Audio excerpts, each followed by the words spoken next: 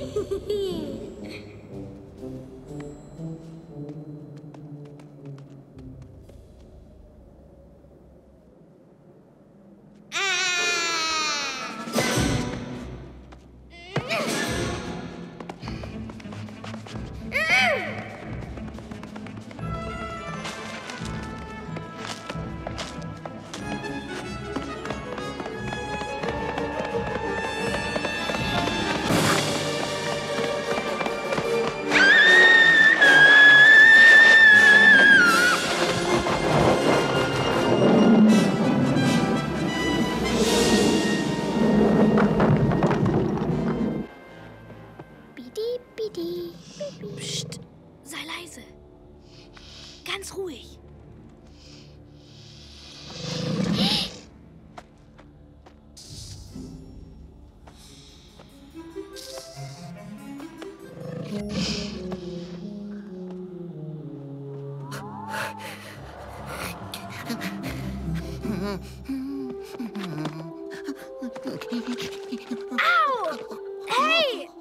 Petri, geh da runter. Hast einen schönen flachen Schädel, Flachschädel. Ich heiße aber nicht Flachschädel. Mein Name ist Littlefoot. Littlefoot? Willst du etwa da oben bleiben? Ja. Ja. Aber das geht nicht. Du zerreißt meinen Baumstern. Der ist was ganz Besonderes. Wirklich. Er hat ihn von seiner Mutter. Ja, bestimmt. Oh, Muttergeschenk. Sehr wichtig. Oh ja, passe drauf auf, lasse keinen wen ran. Ja, Petri, du passt drauf auf. Ja, ja, ja. Nein, nein, nein. Ich bin doch kein Träger. Geh runter. Du bist ein Flieger. Also fang an zu fliegen.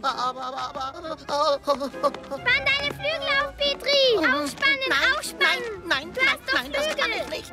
Du kannst fliegen. Jetzt mach deine dürren Flügel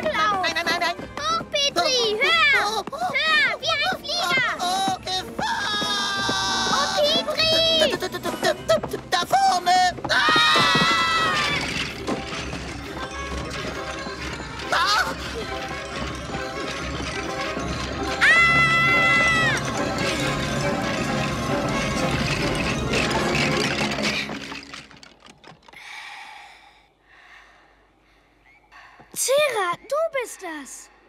Was ist passiert? Warum hast du so eine Angst? Angst? Ich? Warum habt ihr denn so eine Angst? Wir haben keine Angst. Oder? Nein, nein. Ihr solltet aber Angst haben.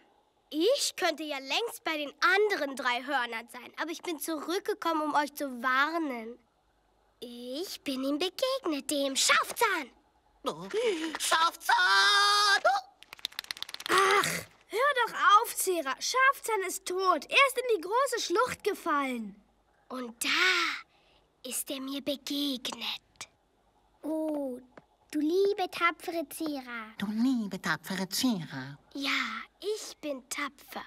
Schafzahn ist tot. Mein Vater hat mir erzählt, dass Flachschädel ganz kleine Gehirne haben. Ich war ganz allein mit ihm im Dunkeln. Nur der Schafzahn und ich. Ich konnte ihn atmen hören.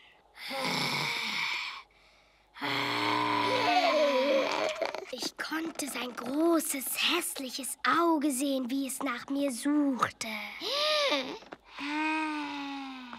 Was hast du dann gemacht? Hä? Hä?